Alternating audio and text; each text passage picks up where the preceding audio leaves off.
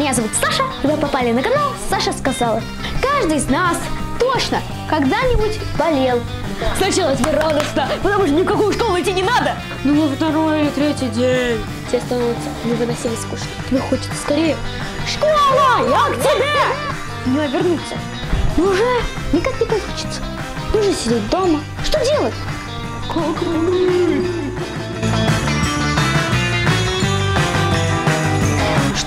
Делать, когда заболеешь?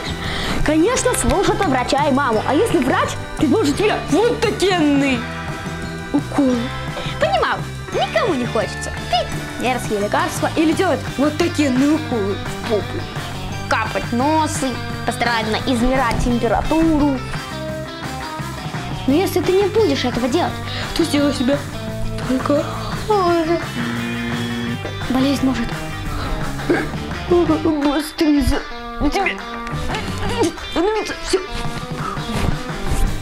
Лучше всего сразу обратиться к врачу при малейших, самых крохотных, микробных симптомах.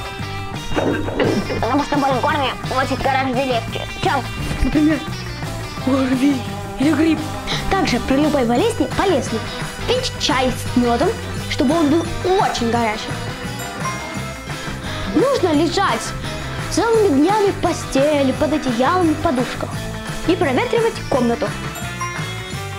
А вот то, чего лучше не делать. Не контактировать со здоровыми людьми, например, сестрой, братом, папой. Нельзя бегать, прыгать, кувыркаться. Нельзя не следовать указаниям врача. Нужную и важную информацию мы уже обговорили. А вот теперь перейдем к более интересному. Как развеселить себя э, во время болезни. Если у тебя нет сил, но спать уже так надоело просто, то мультики, фильмы и даже Гарри Поттер может спасти тебя. Возьми попкорн, вкусняшек, леденцов и сделай себе мини-кинотеатр. Если ты не знаешь, что посмотреть, то сейчас я тебе посоветую мои любимые мультики. Номер один – Как превращать дракона. Номер два – Кунг-фу панда. И номер три – если, это, если вам, конечно, разрешат, фильм «Аватар». Поделись списком своих любимых мультиков в комментариях.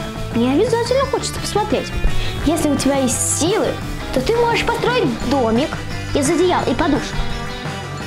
Там тебе будет тепло и уютно.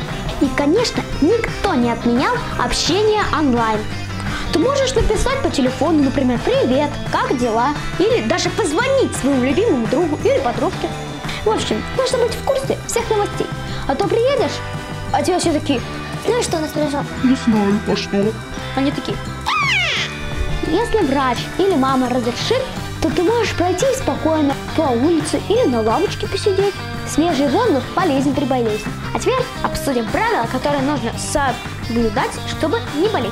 Первое. Избегать скопления людей. Второе. Мыть руки. Третье. Чихать в локоть, а не в руку. Четвертое. Старайтесь не контактировать с больными людьми. Пятое. Проветривайте помещение. Шестое. Увлажняйте воздух. Седьмое. Хорошо спите. Восьмое. Хорошо кушайте.